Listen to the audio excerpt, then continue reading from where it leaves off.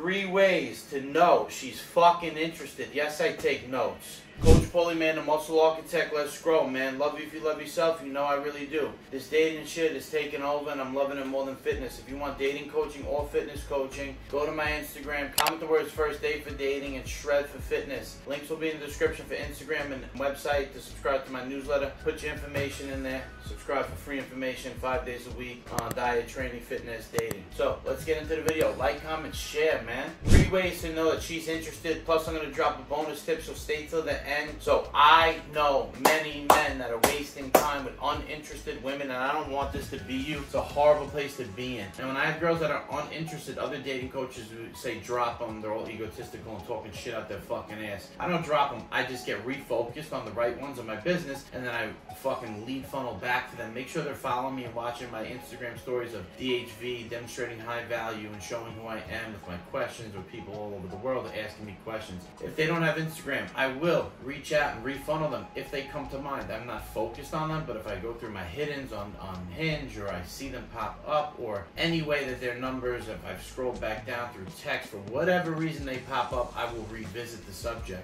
Right now, I have a date on Friday with a girl that has flaked on me three times. Most people would say, don't go back. Now, as I'm lead funneling and going through Monday for Friday dates and on Hinge and scrolling back to see a text from a client or a date, and I see her number from her flaking on me just last week was a re-reach out that Friday was raining. She didn't flake this time. She was like, no, it's raining, blah, blah, blah. Didn't answer me, left me on read. So her texts were recent. So I went, saw her name, and said Friday night drinks. No energy, no effort, no video like I like to do. This girl's flaked on me again three times. Friday night drinks. Drinks Friday. Can you handle that? Boom. Answered with a voice message. Yes, I'm all yours this weekend on Friday. Now, other dating coaches would argue that this is going to be a low value girl on a waste of time.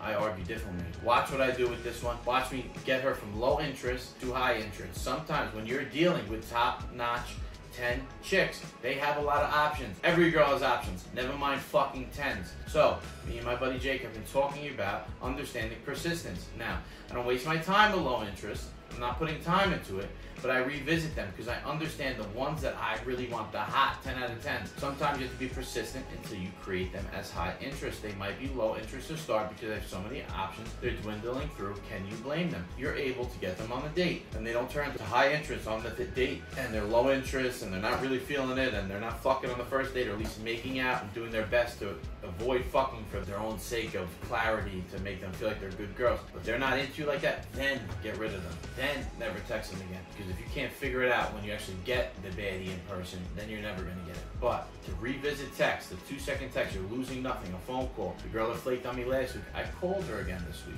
twice. Doesn't hurt, because I get these girls to come back sometimes. They're just in the Rolodex. Will I keep going back? No. Um, I don't want to give you guys misleading advice, but I'm saying if you want to text a girl that was in the funnel or set up a date and flaked on you or low interest, get ahead, but then move on. And don't make that your main focus, waiting on her answer. I want you to forget about it and then bam, she answers, whoa, fuck, there she is. Okay, so now, off on the tangent, but let's get into it. I want to break down these three steps, and I don't want to make it too long because then you guys lose me. Step one, she doesn't make herself available to you in 48 hours, then she's got to go. Again, I just explained the story where we can still revisit, but a girl that wants you, match on the dating app, meet in person, wherever, if she doesn't set up a date in 48 hours, you're not important, bro. Now, if it's Sunday, you're both busy during the week, and we're stretching to the weekend because I do this a lot because I'm very busy during the week. I am, and I choose not to go on dates unless I feel it's the only way I'm going to keep her tight in the mix. I will fucking, you know, do a, weekday date, and I feel like this girl's so busy and she's busy over the weekend. She's only available on Tuesday and or the following weekend. I'm not going to wait till the following weekend. If she's a baddie, a fucking smoke show, then I'll see her on Tuesday night. Fucking move my clients over, see her at 5 o'clock, and handle that. So, with that being said, if she doesn't make herself available in 48 hours, by that I mean in that week, she doesn't say, I'm only off on Friday and it's yours. 48 hours, it's low interest and most likely going to be a waste of your time. She says, okay, maybe the following week. I'm really busy this week. I mean, she has 100 dates. She thinks you're kind of cute.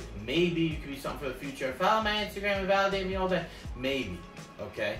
Maybe you'll get lucky. But forget about her. She comes back to you, she comes back to you, demonstrate high value on Instagram, show you the fucking man, keep her in a Rolodex. Now, you got no dates in three weeks. Other coaches would never recommend this. And you remember her for spike of thought, something you saw a blonde girl on the street, she was blonde, hit her with a fucking voice memo, whatever, boom. Don't waste your time on a girl of interest is gonna make herself available on the day she's available. I say 48 hours. Um, how I'll conduct Sunday, like it's Sunday, Monday, I'm setting up my dates for the week. Hey, I'm available Wednesday, Friday. I prefer Friday, but if you're do week dates, boom, boom, boom, I give two dates, never back-to-back dates. And if she's not available on either of those days, you know, I'm busy during the week, but Friday's yours. My weekend is crazy busy. I actually work weekends, boom, boom, boom, but I got you Wednesday. I'm not really available either of those fucking days, but you're beat your beats. Remember, keep it in the back of your mind. Get it following on Instagram. On to the next. Number two, responding late and short. More than anything, late. Some girls are short up until the date. I kind of like that. Makes my job easier. If I gotta fucking entertain you from Monday, from Sunday to our date on Friday, I'm most likely gonna fuck up. It's like Jordan, right? He only needs two points to win the game. He's not gonna shoot a three. Gonna sink the two. Jordan's a sick fuck. He might have still took the three, but you know what I mean. You don't want to text all day. You got the date. Boom. Set it up. Only gonna fuck it up. So sometimes I do like that from a woman, but a girl that's really interested. Again, the one I'm talking about right here. We set the date on Monday, firmed yesterday on Wednesday. Here, anything you need from now to then, you know, I'm gonna handle everything. I'm gonna have your car parked this way. Boom. We ready to talk about when and where you gotta be. I'm gonna text you again to check in on Friday, and I'll see you Friday. I said I was like, I'll see you Friday. Finally, because you took forever. That's it. A video message Wednesday. Send her a short text tomorrow, and then I'll be with her tomorrow night. Monday, we set the date. Wednesday, short text. Friday. Now, if she wants to be validated and texted all week, you have to validate that, right? So up until you meet them, texting can be short. Like I'm saying with this girl, it's short. Technically, this girl will be considered low interest because of the stuff I went through with her. But some girls like this can be short. But outside of that, for the most part, nine out of ten times, a girl's high interest is going to text a lot, want to be validated all the way up until the date. Otherwise, someone else will validate them. They're not that busy. Girls are on the phone 24-7. Someone else will do it and they will forget about you. I'm not with these go, go ghost on girls. If a girl allows you to do that, most likely low interest, but do it. Keep it kind of mysterious up until the date. They're going to want to be validated and they should be responding quick. Not this four, five, six hour shit, okay? That should be you. And then, hey, sorry, I've been busy. Hit her with a video message. She tells you where she is. Oh my God, da da da. But she should be responding quick and asking questions. A girl that's interested is going to be asking questions. She's going to ask questions up until the date. And I always restrain. And I try to set the format of those are the first date questions, baby. Just keep it short. You know, I got to remain mysterious. But she should be fighting you back on that and wanting to ask questions not short and sweet, and responding fast. Four, five, six, eight, ten, twelve hours. I'm not like these other guys I'm going to tell you forget about her. Put your focus somewhere else because even if she shows up on that date, she's probably going to be low interest and you're going to have to put your focus somewhere else after. Focus somewhere else. Don't replace it. Keep that Friday night date, but have another one set up in case she flakes. If it's short and slow response, have another date ready. I booked four dates for tomorrow night. Okay, two have already flaked. I still have two, which if this girl actually shows up by 12, I'm to move them to Saturday. That should be your strategy, that they're to flake, especially with a low interest. Now, if I was on FaceTime with her Wednesday, she already texted me today on Thursday, then I wouldn't have booked any other dates, but it's low interest. And all she said back to me was yesterday when I sent the video message instead of making sure you're good, anything you need for Friday was a fucking short, um, yeah, we're still on for Friday. Hi, Pauly, we're still on for Friday. Cute, I like it because it's not making me text all day while I'm working, but it's low interest. So, that being said, responding late and short, fucking get your ducks in a row, have everything ready to go in case she flakes. Cause She's probably gonna. If she shows, if you can't flip her in person, she's gonna be a goner. So be ready. Have the other dates in case she flakes, and have your other dates for the weekend set up because this is not gonna be your main chick most likely. That doesn't mean don't be positive, going to the date confident, looking her in the fucking eyes and handling business, but be ready to replace because you need a main chick. We want a main chick, okay? And we want a good girl. So you're going to be ready to replace and set up dates for the next week and the rest of the weekend and potentials in case she doesn't show up to replace on Friday. You should put two girls in the back burner too, outside of those two. Be like, hey, Saturday's probably best, but Friday, my reservation, my client is coming into town. He may get on the flight late, may not be here till 11 o'clock. So if you're around Friday too, I might hit you up around 4 or 5 in the afternoon because I really want to see you. But I have a client dinner is coming in from the Netherlands and shit like that. These are real things that I use. So I use that for Friday. So I have two girls on standby as well. If homegirl can maintain eye contact with you, she's got to go.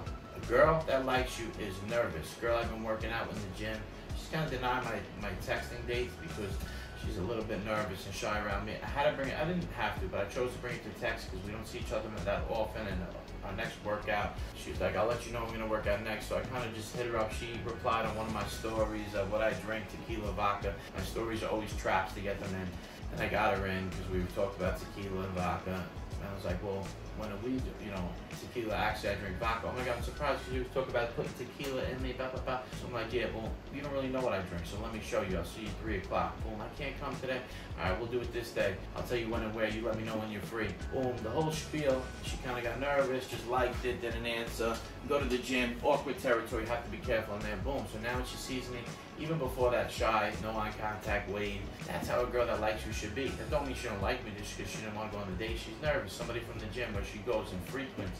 She has a million options. Why does she want to frequent somewhere she goes every day? Most girls don't want to do that. I still will win her over because I'm Coach fucking Pauly. But it's going to take time. It's a long game, especially in the gym. Especially not just because I go to the gym a lot. I work at the gym. So I live there. It's not just goes there a lot. She sees me once a week. Anytime she goes, she sees me. So she's going to be careful with that. I'm okay with that. With that being said, she can't make eye contact, very nervous. And any girl that can has to go. Now, for your bonus tip, when you're going up to approach a girl and or first date, open body language inviting you in. If she's turned off to the side, closed, you know she's got to go. She should be open to you. And if you go up to her and she's open but nervous, a little turned off, that's okay, but that should change within 30 seconds because of her enticing nature of you. Should reopen up to you and then it should be an open conversation. Think about it, man. Anything you want, you're gonna be open so You're not gonna be closed. Closed body language is huge, guys. Be careful. Just look out for this. You're on a first date, arms are closed the whole time, and she never opens up to you. It's not because she's nervous. Looking you in your eyes with closed body language. You're fucked, bro. Get her the Uber now because fucking looking at you, not nervous, and then fucking closed off to you the whole time. She should be not able to look at you, looking away, turn to the side at the beginning, then open up to you, open, but still like looking away, well, opened up to you. Closed body language, that's your bonus tip. Guys, I hope you really learned. Let me break it down in chronological order. Three ways to know she's interested in you. Number one, she doesn't make herself available within 48 hours, she's gotta go. Responding late and short. Girls should respond fast. They live on their fucking phones and they should be asking you questions even up until the date. You should be the one trying to restrain too much texting because you're the busy man and you want to remain serious up until the date. Number three, she can maintain eye contact. A girl should not be able to maintain eye contact in any which way and should be nervous around you. Bonus tip, closed body language is not open for discussion. Open body language, closed like percussion. I just made that up. Doesn't make sense, but that's this YouTube channel because I'm crazy and I'm Coach Pauly and I'm the muscle architect. So again, pay late, keep her amazed, like, comment, share the video. This helped at all, let me know in the comments. Show love. We're growing together. Everything about me. I'm sharing my life with you guys. The muscle architect, baby. Coach Pauly. Pay late, keep her amazed, stay blazed. I love you if you love yourself. You know I really do. Muscle architect, baby. Like, comment, share the video. Go to the link in the description. Check, peep the Instagram. The worst first date for dating. The worst shred for fitness holla at me. Instagram, go to the newsletter, click the link in the description, go to the website, drive to my newsletter. Let's get on Instagram and holla and see me daily for daily tips. I love you, baby. Ah!